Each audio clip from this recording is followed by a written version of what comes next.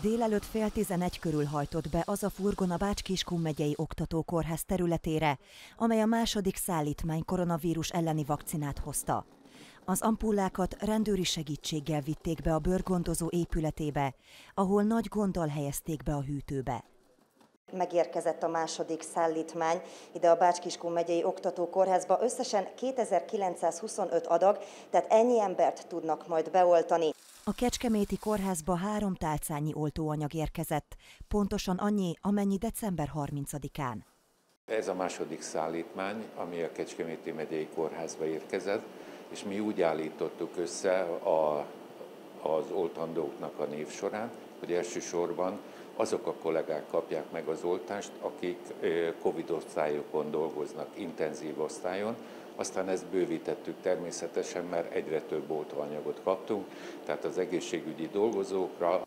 Az oltást a mentősök, a házi orvosi szolgálat munkatársai, később pedig a kormányhivatal dolgozói vehetik fel.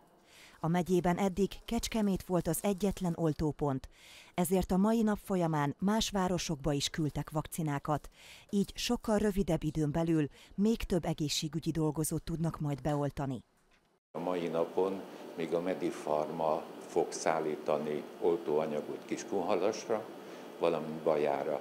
Kiskunhalasra 52 ampullát, és Bajára pedig 71 ampullát. Ez azt jelenti, hogy Baján 355, Kiskunhalason pedig 260 ember tudnak majd beoltani. A Kecskeméti kórházban lévő hűtőhöz egyébként egy kamerát is elhelyeztek.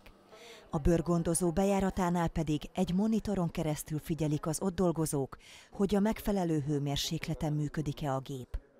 Egy kis kellemetlenség, bocsánat. Mindeközben folytatódott az első szállítmány vakcina beadása is. Az oltást a szilveszter és az új év ellenére tegnap estig 705-en vették fel.